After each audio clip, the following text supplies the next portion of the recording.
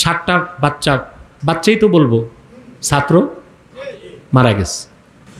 বান্ন সালে মারলো আমাদেরকে ছাত্রদেরকেই মারা হয়েছে মারছে কারা? পাকিস্তানিরা। একাত্তরে প্রচুর মা বোনের ইজ্জত নষ্ট করে এদেশের মানুষকে হত্যা করেছে পাক হানাদার বাহিনী। আর এখন একই দেশে সাম্প্রদায়িক বিভক্তি হয়ে গেছে। মুক্তিযোদ্ধার সন্তানরা আর অমুক্তিযোদ্ধার সন্তানরা। এক পক্ষ আরেক পক্ষকে মারতেছে। এটা তো চব্বিশ ঘণ্টা না, এক ঘন্টায় সমাধানের বিষয়। যদি এইভাবে সহিংসতা চলতে থাকে, বাড়তে থাকে, আমি নির্বাচনের আগে আমার রাজনৈতিক বক্তব্যে বলেছিলাম, বাংলাদেশে সিভিল ওয়ার হবে। গৃহযুদ্ধ হবে, বলছিলাম না? আমরা যদি এক্ষুনি সমাধান করতে না পারি দেশ কিন্তু গৃহযুদ্ধের দিকে যাচ্ছে। অনেক ছাত্র এই আন্দোলনে মৃত্যুর কোলে ঢলে পড়েছে। অত্যন্ত দুঃখজনক এটা, তাদের পিতা, মাতা, আত্মীয় স্বজন শোকের পাথর বহন করছে। আমরা দোয়া করব তাদের মধ্যে যারা ইমানদার ছিল, তাদের প্রত্যেককে যেন আল্লাহ তালা শাহাদাত দান করে এবং এই ভয়াবহ সহিংসতা থেকে আল্লাহ যেন আমাদের দেশকে রক্ষা করেন। এই যে উপমহাদেশে যে একটা কনফ্লিকশন চলছে, এটা তো ইংরেজদের সৃষ্টি। কাদের সৃষ্টি? আমরা বাংলাদেশের, বাংলাদেশিদের অধিকার ছিল আমা- আসাম এবং ত্রিপুরা আমাদের হবে। এখানে ইংরেজরা গাদ্দারি করছে। কথা বুঝতেছেন? রাষ্ট্র দুইটা ভাগ করছে। কত দূর পাকিস্তান? ওখান থেকে উনিশশো কিলোমিটার দূরে বাংলাদেশ। এত দূরে কি দুইটা দেশ হয়? এত দূরে আবার দেশ হয় কেমনে? বুঝেন নাই? মানে একটা দেশের ভূখণ্ড থেকে আরেকটা দেশের ভূখণ্ড কত দূরে? উনিশশো কিলোমিটার। তে এটা তো আগ থেকেই বোঝা ছিল, এটা কখনো বাংলাদেশে, পাকিস্তানের অংশ থাকবে না, এটা বাংলাদেশ হবে। তো তখনই তো বাংলাদেশকে একটা স্বাধীন মুসলিম রাষ্ট্র হিসেবে স্বীকৃতি পাওয়া উচিত ছিল। সাতচল্লিশে। কখন? তারপর? তারপরে দেশের মানুষ বাহান্ন সাল দেখল ভাষা আন্দোলন। তারপর একাত্তরে দেখল স্বাধীনতা আন্দোলন। আর দুই হাজার চব্বিশে দেখতেছে কোটা আন্দোলন। ষাটটা বাচ্চা বাচ্চাই তো বলব, ছাত্র মারা গেছে। এখন বান্ন সালে মারলো আমাদেরকে, ছাত্রদেরকেই মারা হয়েছে। মারছে কারা? পাকিস্তানিরা। একাত্তরে প্রচুর মা বোনের ইজ্জত নষ্ট করে এদেশের মানুষকে হত্যা করেছে পাক হানাদার বাহিনী। আর এখন একই দেশে সাম্প্রদায়িক বিভক্তি হয়ে গেছে।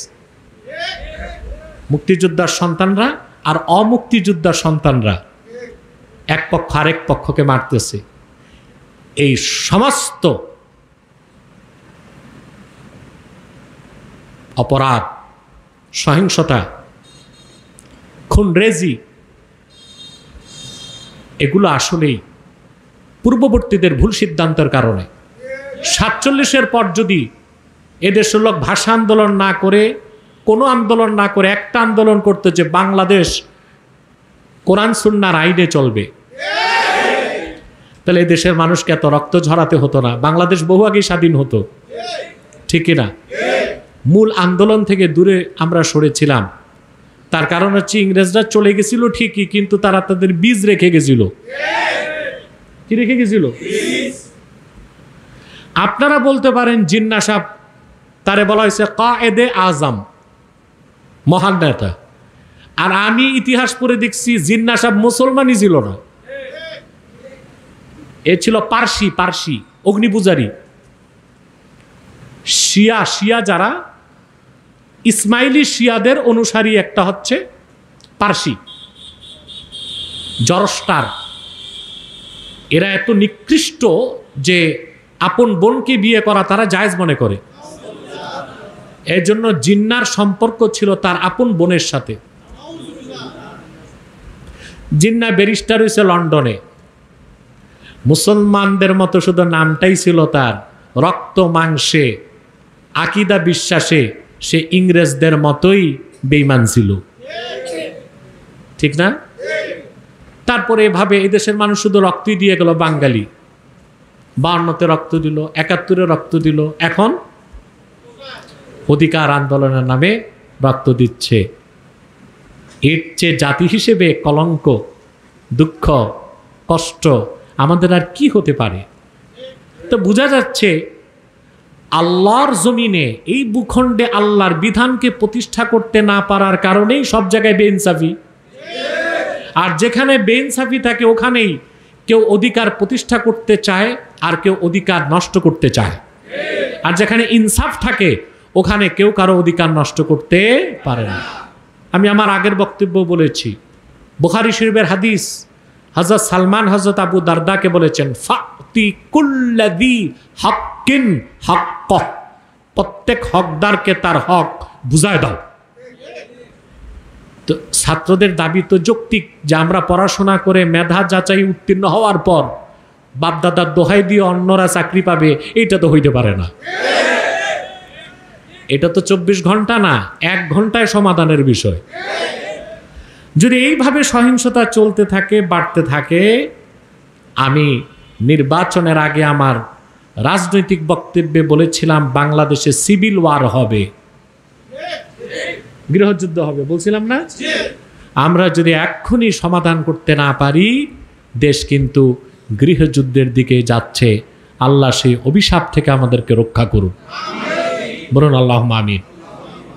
খেলাফা প্রতিষ্ঠার মাধ্যমে আমরা আমাদের দেশের সকল সমস্যার সমাধান করতে পারি।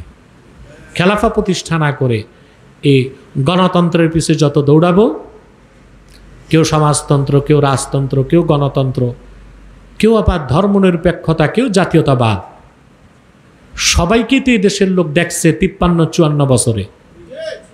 ঠিক না আপনারা কতটুকু নিরাপদ থেকেছেন, আপনারাই দেখেছেন। এখন আমাদের মুক্তির পথ একটাই, খেলাফতের ভিত্তিতে আহকামে সার ইয়া এমারাতে ইসলামিয়া প্রতিষ্ঠা করা। সেখানে ছাত্রদের অধিকার সংরক্ষিত হবে, কৃষক তার অধিকার পাবে, ব্যবসায়ী নিরাপদে ব্যবসা করতে পারবে, ঠিক কিনা?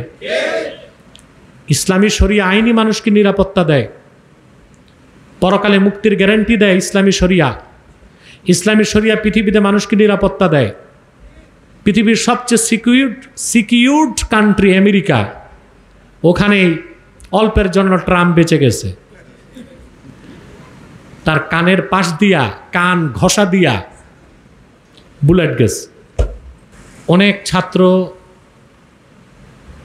এই আন্দোলনে মৃত্যুর কোলে ঢলে পড়েছে। অত্যন্ত দুঃখজনক এটা, তাদের পিতা, মাতা আত্মীয় স্বজন শোকের পাথর বহন করছে।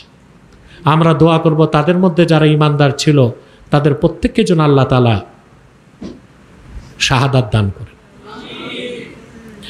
এবং এই ভয়াবহ সহিংসতা থেকে আল্লাহ যেন আমাদের দেশকে রক্ষা করেন।